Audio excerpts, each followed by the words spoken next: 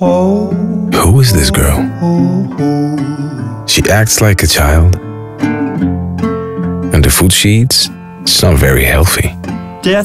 She's famous, but feels lost sometimes. Hard-working girl. Plays hard too. But after she suffers, doing sports or meeting her best friend, who is she? Find out at reserved.com.